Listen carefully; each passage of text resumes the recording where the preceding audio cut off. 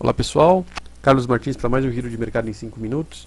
Dessa vez para a próxima semana, já no dia 21 de 5 de 2012, com os fechamentos da sexta-feira, dia 18.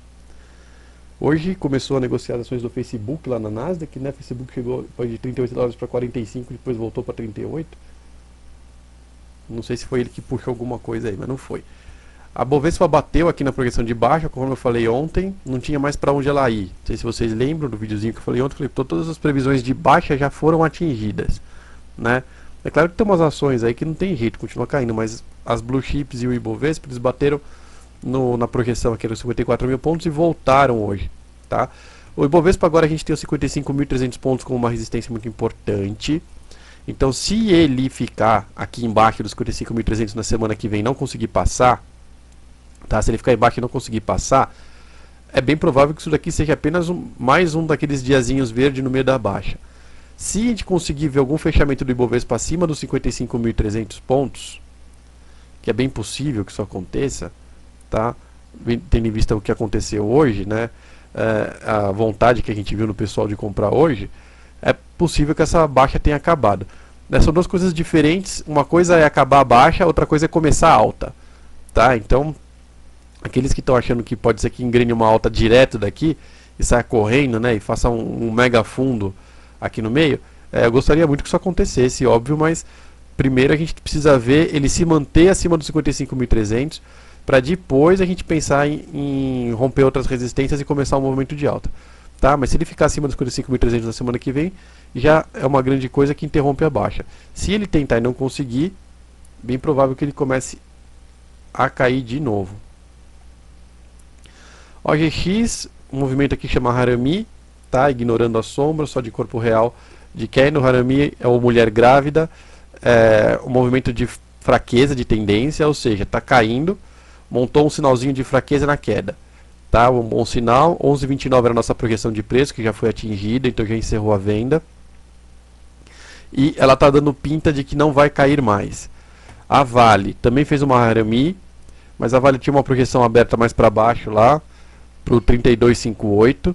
Essa projeção de baixa depende da próxima segunda-feira do que vai acontecer. Ela veio, fez o pullback hoje, bateu aqui, a resistência dela era 35,87, ela bateu 35,89. Se ela se mantiver acima do 35,87 a partir da segunda-feira, né, dia 21 do 5, então essa previsão de baixa aqui sim, nem, nem começa. Né? Se ela realmente fechar aqui abaixo do 35,87, a gente vai ter um sinal aí de início de mais uma mais uma temporada de queda aí para Vale. Mas isso confirma na segunda-feira. E daquele jeito que vocês estão acostumados a operar a Vale, né? A gente não tem uns sinais muito fortes, né? muito certeiros, né? Ela muda de lado com 5, 6% de alta no mesmo dia de uma forma muito rápida e muito fácil. Falando agora da Petrobras, outra que fez um harami aqui, uma mulher grávida, para mostrando um encerramento da baixa. Ela também tinha uma projeção no 1878, então um patamar de preço forte, dá para perceber que ela engasgou aqui no 1878 e não consegue passar para baixo. Ela tem essa linha do Fibonacci aqui azulzinha que é forte, então ela precisa passar acima dessa linha do Fibonacci aqui do 38,2% que vem desde lá de cima, né? Que está relacionado lá com o início da queda. Se ela passar para cima disso daqui, a gente pode ver uma recuperação na tendência. Tá? Aqui atrás ela, ela tentou passar para cima dessa, bateu na outra e voltou. Né? Dessa vez vamos ver o que, que ela faz. Mas todas as três aqui, o, o triunvirato, né, o GX, Petrobras e Vale, todas as três estão, parece que no final do movimento de baixa. Só a Vale que está um pouco, um pouco mais na dúvida, mas a OGX e a Petrobras parece que estão no final do movimento de baixa. E o Dow Jones, que mais um dia cai, 12.414 era a minha previsão para ele aqui, para essa para essa queda, né? Ou seja, ele cai aí 2,2%, ele caiu mais, ele fechou menos 0,6% hoje, 12.369 pontos, tá lá no Dow Jones. Aqui deixa eu abrir um Fibonacci para trás de novo aqui. Muito bem. Isso aí. Onde a gente pode ver aqui que tem mais um suporte aqui no 12.327 certo? Ele está muito próximo desse suporte. Se ele perdeu 12.327, ele pode vir testar essa linha inclinada aqui do Fibonacci, essa outra linha inclinada do Fibonacci. Tá? Lembro que ele já perdeu essa linha azul aqui do Fibonacci, inclinada. Quando ele perdeu essa linha azul do Fibonacci, ele abre uma amplitude para testar a linha azul correspondente dela horizontal, que é no 11.900 pontos. Tá? Ele, abre, ele abre uma projeção de preço.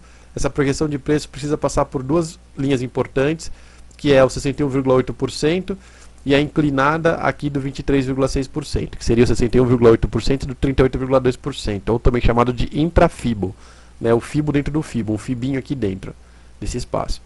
Tá, então como ele abriu essa projeção até 11.900 pontos, ele já bateu no 12.400 e parece que passou sem, sem muita dificuldade, então a gente tem que ver se ele vai respeitar o 12.300, que é mais forte, e depois ele vai respeitar essa inclinada.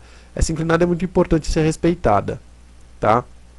É óbvio que ela tem aí, ela está agora lá nos 12.100 pontos, então ele pode cair mais para chegar nela, mas é importante que ela seja respeitada, porque se ela não for respeitada, a gente abre uma projeção que era no 11.900, ela vai até lá embaixo agora no 11.600. Quanto mais inclinado ele for perdendo, mais baixa é a projeção do preço para onde ele vai cair.